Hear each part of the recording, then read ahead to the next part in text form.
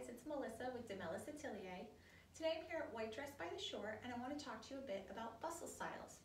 So I have a few different styles of gown here and I want to go through what may be the best method to bustle the gown per the dress and also per the individual.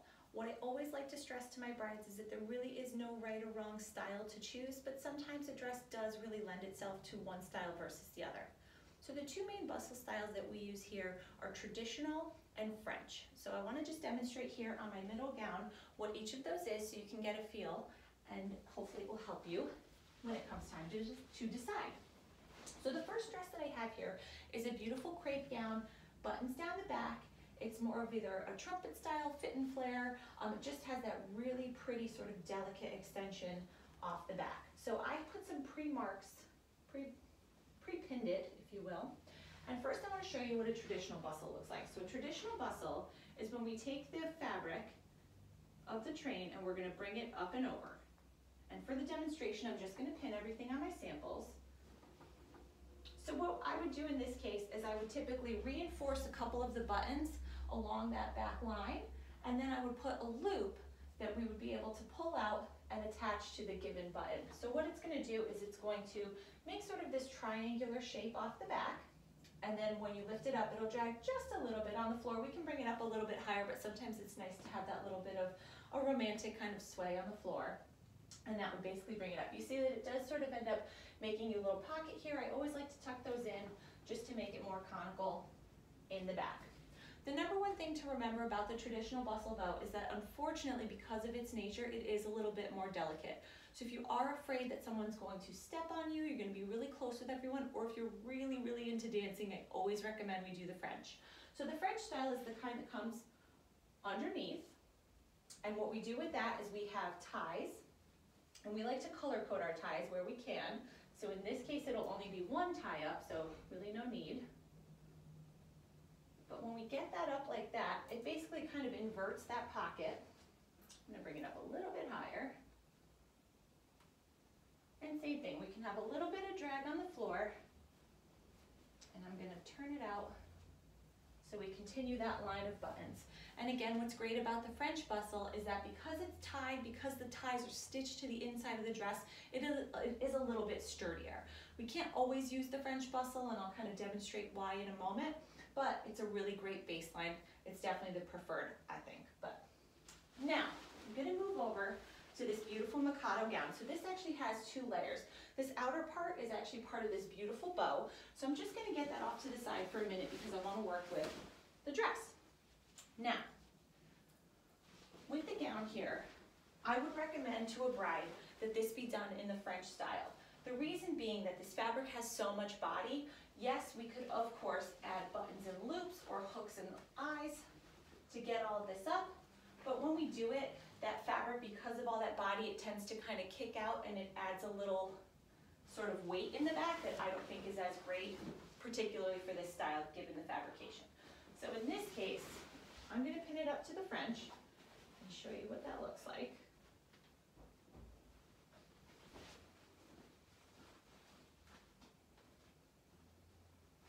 And here in this case, because we would do about three pickups probably, if the gal wearing it was about as tall as this mannequin.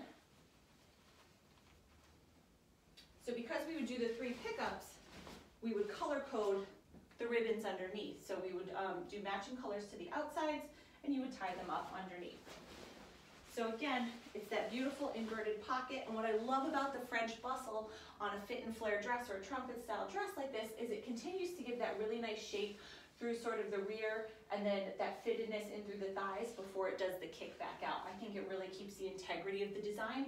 Sometimes when you have a traditional bustle and it's pulling, it can pull the fabric away from you. Again, it depends on the fabrication, it depends on the weight of the dress. So now that I have this beautiful overlay from the bow, we can do the same thing with that. Now because this may flop around, I may choose to do a loop and a button on the inside versus the ties because when she's kind of walking around, I don't want people to see strings hanging off her back. So just a little problem solved that sometimes happens.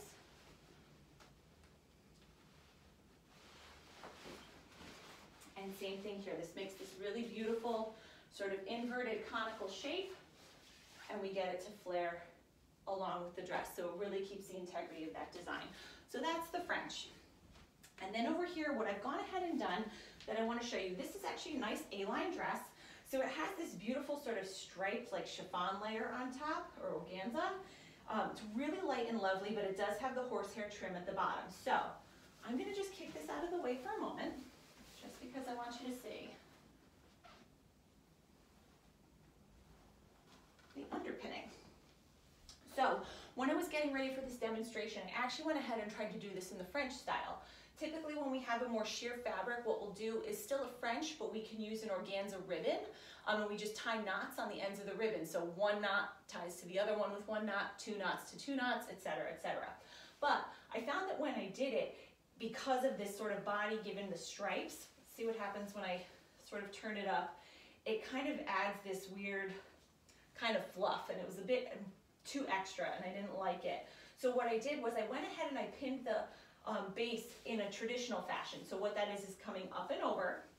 And in this case, I would use sort of this, where the stripe is, I would do my buttons and loops on there just because there's a little bit of reinforcement. There also happens to be quarter panel seams. So when I have that, I know that I can get a little bit of extra strength. Um, so I'm not as afraid to do a traditional on a style like this. So see how we've taken that train and we've brought it up off the floor. Now, because of this design, I have this beautiful overlayer here, very similarly to the bow that we had on this gal. And same thing, if I wanted to bring it underneath, it's okay, but it kind of does a little bit too much drama for my personal taste. And what I love about this is I always like to try and keep the integrity of the actual design of the dress. Now I could take this and go traditional and maybe start from a little lower and get it right up here. I see that there's an opening to allow for the zipper. So I could always hook it here and make this pretty drape, which I think is just fine. But the other thing I can do, because this whole outer layer is detached, I would actually consider hiding a loop or a hook and a button for up here and getting it onto her waist. Because what that does is it sort of keeps that beautiful A-line shape coming from her waist like the rest of the dress. So you can see the tip is just off the floor and then she's ready to dance. So those are a couple different um, ways that you can do the bustles. Like I said, the traditional and the French. Again, given the uh, style of the dress, you may choose to go one way or the other. I often find that bustles are very polarizing, so some people really love and really hate one or the other. Um, but always talk to your seamstress and kind of decide what's best.